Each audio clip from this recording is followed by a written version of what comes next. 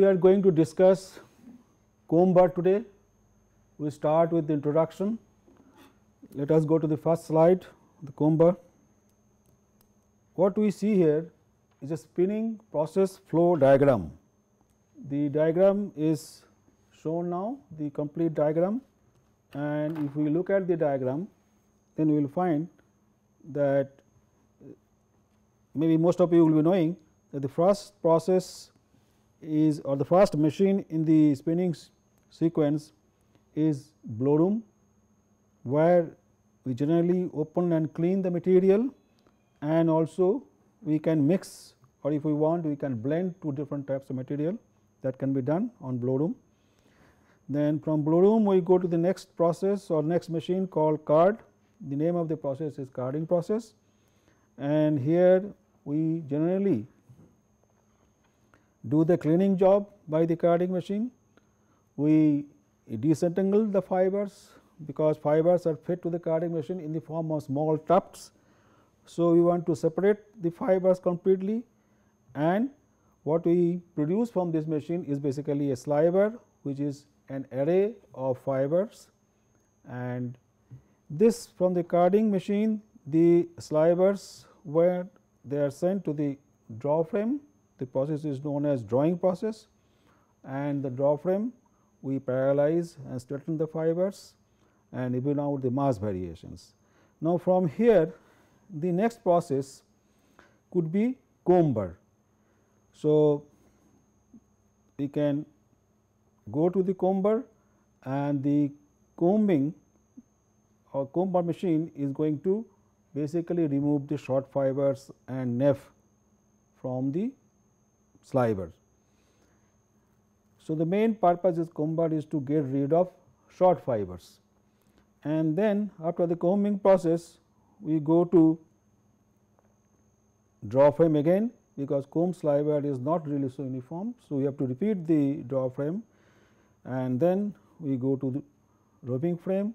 We will discuss about roving frame and then it goes to the spinning machine where we can Uh, spin the yarn. Now, what I have shown in this diagram is that we can directly go from draw frame to spinning machine also this is possible that is we can bypass the process comb or draw frame or roving frame that is also a part of spinning process and this is done when we directly spin the yarn from drawn sliver. Like if we want to spin the yarn on the rotor spinning machine or air jet spinning machine, then we feed draw frame sliver there. We do not feed roving or there is no need of combing there also. So, that can be uh, we can go directly from therefore, this line basically shows that draw frame slivers can be directly fed to the spinning machine, but not ring spinning machine that is rotor spinning machine or air jet spinning machines or vortex spinning machines. The other thing is that if we want to bypass comb we want to produce a carded yarn that is we do not want to remove short fibers, then from draw frame we directly go to the roving frame. So, you look at this, this green line indicates that you are going from draw frame to roving frame and then from roving we produce roving and from the roving then we go to spinning machines. So, this is also possible and we call it carded yarn. So, in the spinning line there could be a comber or there may not be a comber. Comb bar is required when we want to produce a better quality yarn and we want to get rid of the short fibers because we will see that short fibers have a very detrimental effect on the quality of the yarn. So, after spinning the yarn goes to the winding machine where we remove faults which are there in the yarn and we actually make a big package. The ring spinning machine you will see later on that the package of the yarn is very very small. The quantity of yarn which is there in a ring frame cop is very very little and we want to produce much bigger package which we require for subsequent uh, weaving. And therefore, what we do that we feed this yarn to the winding machine and whatever faults are there in the yarn we remove them and make much bigger package and then the package gets ready. Sometimes we feed this package to the for plying also that we can feed it to another machine called doubling machines or also known as your uh, TFO that is 2 for 1 twisters where we ply the yarn. Basically, this process is for making plied yarn. So, that could be also be there. This is how the spinning process flow diagram looks like and you see that in this particular course we are going to discuss the combing machine, then the next one is the roving frame and the next one is this spinning machine. It is basically ring spinning. Machine. These three machines we are, we are going to learn in this particular course. Let us go to the next slide. Objectives of combing. Why do you need combing operations? This part should be clear. So, if we first point is removal of short fibers from sliver. Short fibers are basically nuisance from the quality point of view and from the process point of view. So, however, their presence in the cotton we just can't stop and therefore, we need to remove them if we want to produce a better quality yarn. The next thing is extraction of residual neps and trash particles present in the sliver. See there will be some neps left even after carding process. There will be still some trash particles left in the drawn sliver after carding process that is the blow room and the carding machine cannot really complete the job of cleaning. Some trash particles are still left and there is possibility of neps also in the sliver. So, we, the combing machine gives an opportunity to reduce or extract the neps and the trash particles still left in the sliver. The other thing is that improvement in fiber parallelizations. So, after combing the fibers become very parallel with respect to each other.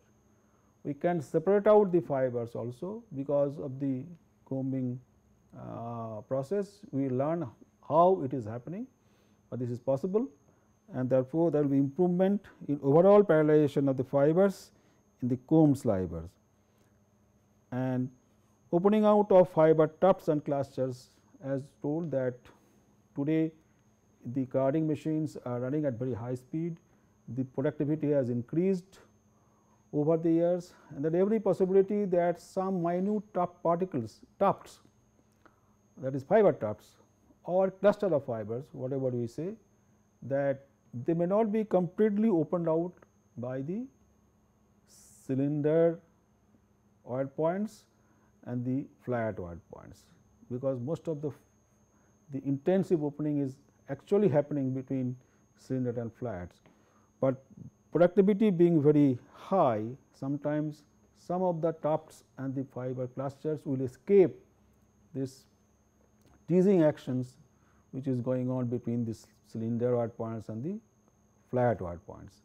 So, some of the tops will move forward and they will be there in the drawn slivers, but uh, this will not be really visible to our eyes and uh, but once they land in the yarn they uh, increase the irregularity and also they may create uh, thick places in the yarn. Therefore, the combing machines will see that because of the combing needles which will be acting on the fibers, these needles will be able to tease out some of those fiber tufts which are still left in the sliver. So, that is one of the purpose of combing also. So, so many things can happen because of the combing action. The most important point is the short fiber removal. So, the questions come why do you need to remove the short fibers? I have already mentioned about this, but let us reinforce it again. Short fibers are a source of thick thin places and unevenness in the final yarn and therefore, the lesser their quantity is the better it is always.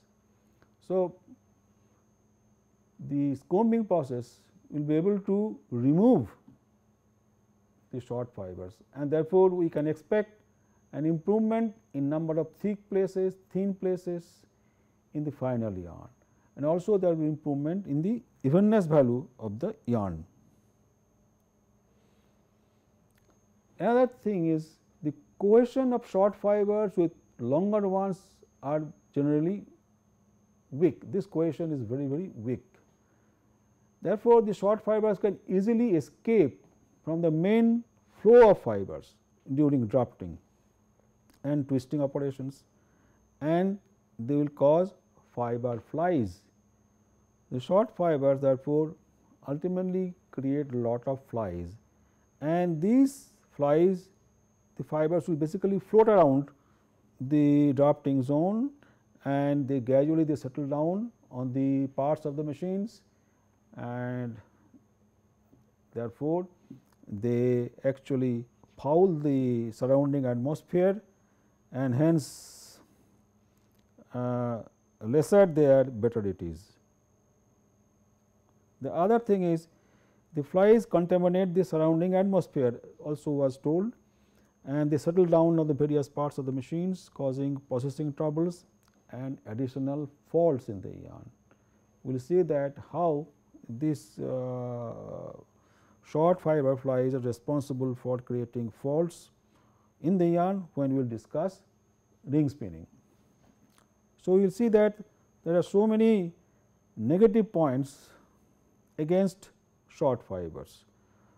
So, therefore, it is better that they are they should not be there. The other thing is short fibers being less matured may lead to barre in the dyed fabrics. Usually their maturity value is less and they can also create a typical problem known as barre in the dyed fabric. Therefore, we want to get rid of short fibers and because of this we have the machine comber. So, benefits of combing will be therefore, since these fibers will be eliminated and there will be further opening of fibers or fiber clusters. Therefore, benefits will be there will be improvement in evenness value, uniformity value and strength value of the yarn. That side there will be great improvement. And what will decrease is faults in yarn there will decrease in the hairiness value of the yarn and there will be decrease in the flies in the yarn. Suppose these machines these yarns we want to use on knitting machines. So, on the knitting machines how much fiber shedding will be there that also depends upon what is the proportion of short fibers in the yarn.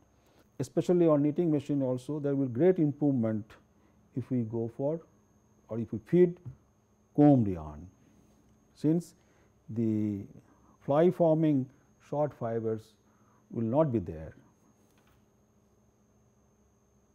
Okay. Now, the question that comes is how to separate out the short fibers, short fibers separation. Here the cotton fiber length array is shown, we are all familiar with this array the part shown here this part is basically the short fibers shown by these vertical lines. So, when we remove the short fibers that we take out the short fibers as shown here. So, this part will be removed and the other part that is the rest of the part this is what will be left. So, basically if we consider the short fiber separation from the length array point of view. So, therefore, what we can see here that is we want to get rid of this part and we want to retain the rest of the fibers. This is what we actually want to achieve. Okay. So, this is the short fiber zone, this we want to get rid of and the rest of the fibers we want to keep it. That is what the therefore, length array will change after combing and we stop this part now.